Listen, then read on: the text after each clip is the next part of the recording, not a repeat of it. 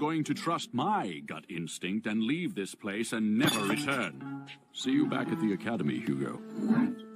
Hello, Master Eon's assistant. Enjoying your gizzard? Well, I was just about to dig in, so... Nobody cares. Beat this. Whoa, cool arrow. Now I want to kiss it. I know where you can have all the gizzards you can choke down. Where?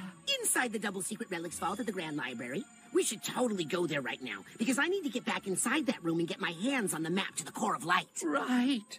That sounds like a swell idea. Let's go there now. Excellent. After you.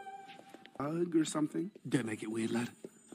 That's it. Lizard gizzards galore. And the map to the core of light are just inside that bookshelf, dummy. Now get me in there. Sure. Yo, lizard gizzard guy! Gizzard man,